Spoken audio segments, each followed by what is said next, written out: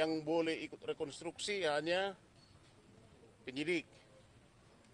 Kemudian tersangka, oh, brimob dan sebagainya kan itu. Jadi sementara kami dari pelapor tak boleh lihat.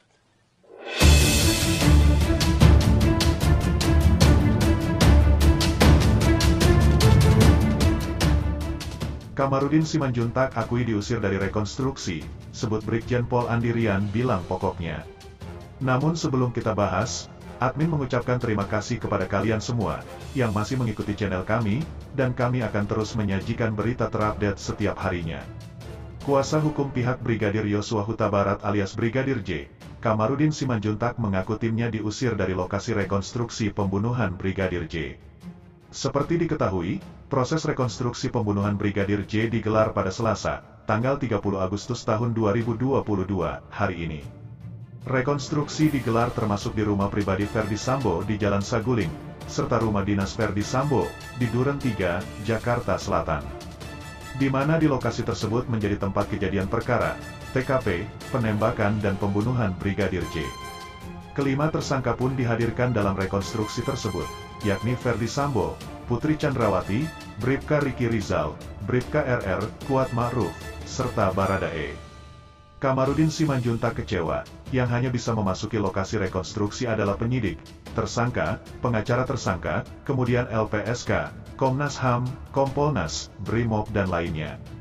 Ternyata kami menunggu sedemikian rupa, yang boleh ikut rekonstruksi hanya penyidik, tersangka, pengacara tersangka, kemudian LPSK, Komnas HAM, Kompolnas, BRIMOB dan lainnya, katanya. Sementara kami dari pelapor tak boleh lihat, ini bagi kami suatu pelanggaran hukum yang sangat berat, lanjutnya lagi. Kamarudin mengatakan tidak ada makna daripada equality before the law. Sehingga, bagi Kamarudin, tidak akan mengetahui proses apa saja yang dilakukan di lokasi rekonstruksi tersebut. Daripada kita macam tamu tidak diundang mending kita pulang, katanya lagi. Saat ditanya apa alasan kuasa hukum Brigadir J tidak boleh masuk proses rekonstruksi, Kamarudin hanya mengatakan Dirtipidum Bareskrim Polri, Brigjen Pol Andi Rian berkata, pokoknya.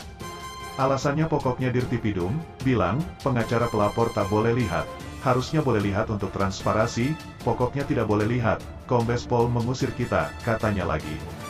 Daripada kita diusir-usir tidak berguna lebih baik kita mencari kegiatan yang lebih berguna, pungkas Kamarudin. Terkait hal tersebut, Kamarudin pun akan membicarakan masalah tersebut ke Menteri, dan kini sudah ada komunikasi, berarti harus ada yang diberhentikan dari jabatannya, pokoknya ada, tunggu aja dalam waktu dekat, pungkasnya, mungkin itu saja yang dapat kami sampaikan, jika ada salah kata mohon dimaafkan, karena kesalahan datang dari saya pribadi, yang tak luput dari yang namanya salah dan dosa.